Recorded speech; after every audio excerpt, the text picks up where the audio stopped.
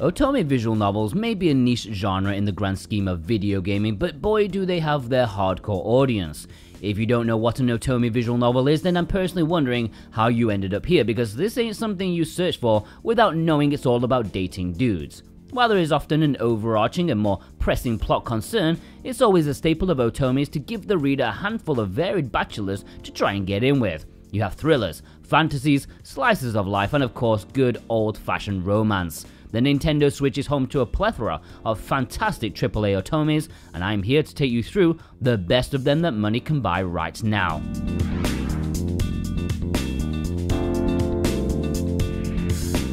If you claim to be a fan of visual novels, then you definitely need to hit that subscribe button. Community, show your love for the written word by also hitting that bell notification to keep up with all the visual novel goodness that we can give you. I'm also giving away a physical copy of Lyrica 1 and 2 on the Nintendo Switch to one of you when we get to 1000 subscribers. Don't worry, it's a rhythm game with visual novel elements. Let's start off with Bustafellows. This is set in the modern day, in a bustling city that some may consider comparable to New York. Here we have our protagonist Teuta, a headstrong reporter going about her business in this complex and interesting plot that includes time travel and body swapping. After our heroine witnesses the murder of one of the bachelors, she delves back in time to try and prevent it. Here we have some fantastic, highly detailed background art of modern day life, and it finds the balance between romantic plot points and also crime thriller very well indeed. Bustafellows is definitely one of the best otomes around, especially on the Nintendo Switch. This is available physically and digitally on the eShop. Purchase links and eShop credit are down below in the description for all the games here, and by clicking those links you can support this visual novel channel at the same time. We are not monetized and it will be a very long time before we can be, so this is the best way to support us now. Nightshade is a premium Otome visual novel, a historical one set just after the Sengoku period of Japanese history. If you've played video games before, you'll be pretty familiar with this era. Here we have a very serious Otome that is a life and death drama.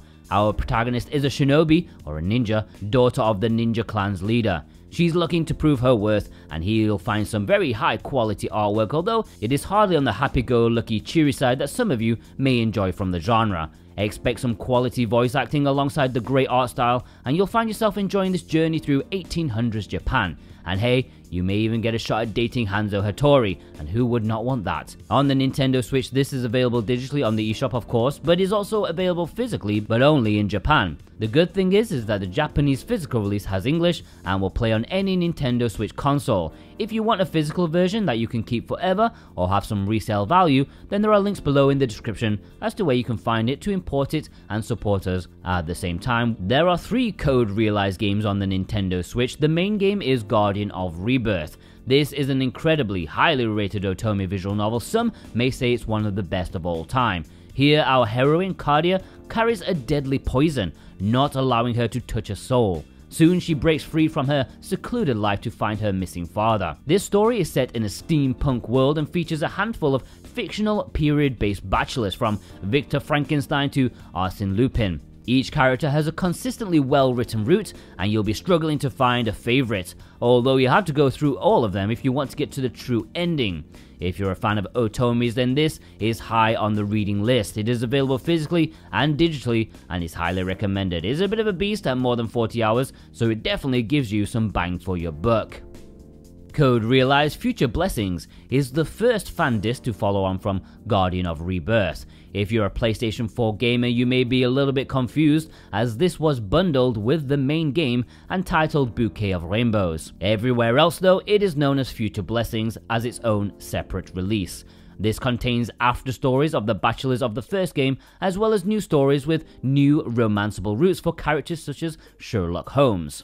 For those who love fan service, this was the almost perfect addition to the main game, as everyone's favourite bachelor gets an exceptional place in the spotlight to really tie up their story. According to fans, it's one of the best fan discs out there, and this is available digitally and physically, of course. But apparently, one fan disc was not enough. A second one was created and called Wintertide Miracles. If you need even more closure to the endings of Guardians of Rebirth and Future Blessings, then here we are. This extra fan disc also contains epilogues for the new characters in the first fan disc, and even more side stories for new characters as well. I wonder if there will be a third fan disc for their epilogues also. Either way, if you've read the first two Code Realized games, then you might as well scratch this one off your list too. Its content may be a little bit jumbled, but you'll be spending more time with these great characters and enjoying the absolutely incredible artwork on show. Plus, now the characters wear Christmassy attire, which is pretty much worth it alone. This is also available physically and digitally. Collar X Malice is a very dark Otome visual novel. It is a story that gets darker and darker the more you play. The story stars Ichika, a police officer who is forced to wear a poisonous collar around her neck and blackmailed into investigating a certain case. This is a thriller and a half. With exciting routes, plenty of action, and a mystery to solve, you'll be enjoying all 30 hours with this beast. There's some small elements of gameplay thrown in too. You have Ace Attorney type investigations, and also a mini game where you fire your weapon and have to aim at the correct area in order to survive and progress the story. As long as you don't mind some overly serious tones to your romance, then this is essential.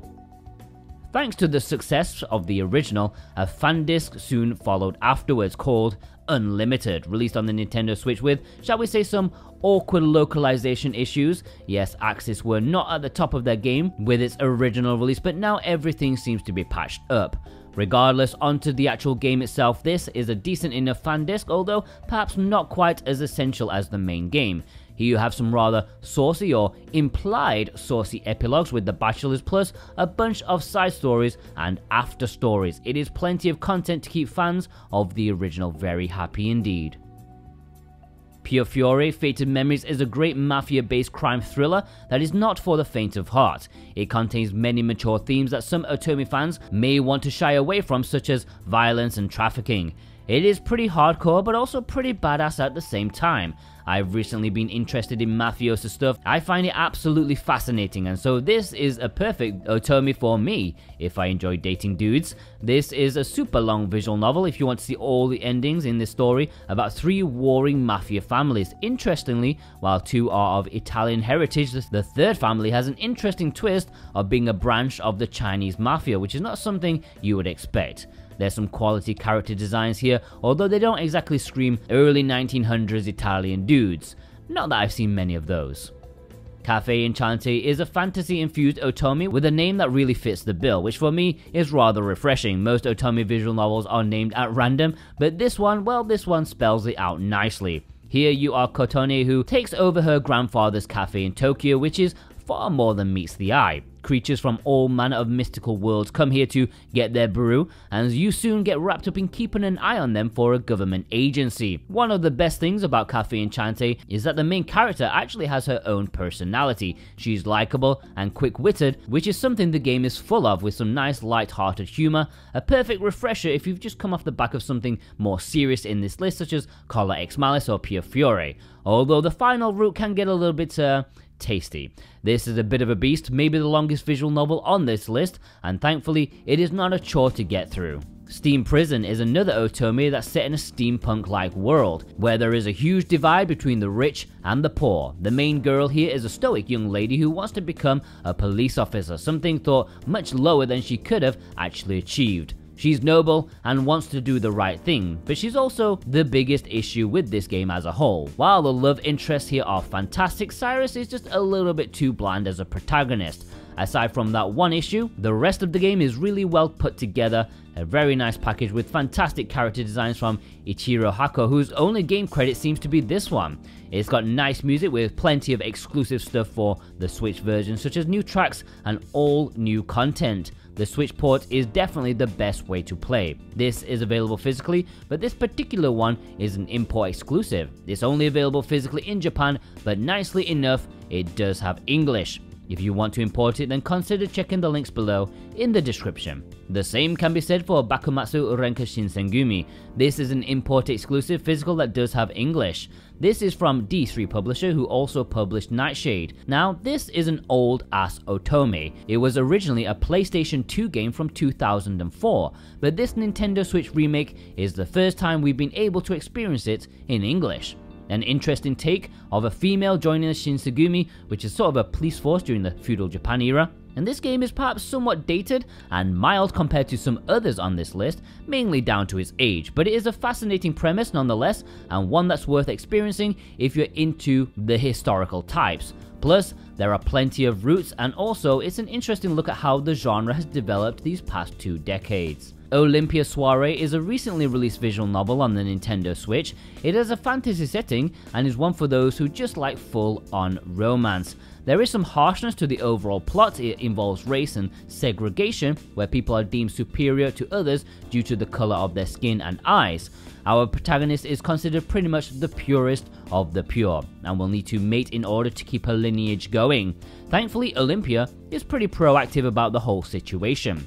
Sadly, despite social issues presented here, these are not fully delved into or explored, but I guess it's not a game that's designed to lecture you about what is right or wrong, it's a piece of escapism, and Soiree pulls it off very nicely aside from maybe one really awkward ending which left many readers almost appalled. But aside from that one issue, it is a fantastic time with great music and unbelievable artwork from Satoi, best known for their work on the Diabolik Lover series. Cupid Parasite is set in the modern day of Lost York, and yes, that almost painful joke is pretty much what you'd expect from this otome, but in a good way. It's practically the perfect rom-com if you're looking for laughs alongside your love. With a very unique premise about our protagonist working for a matchmaking company, she helps five young men to try and find love, and she's pretty good at it. Well, one would be if you were actually the goddess of love in disguise. Yes, you are literally Cupid fallen from the heavens. But now, you're a career driven, hard working gal who knows exactly what she wants.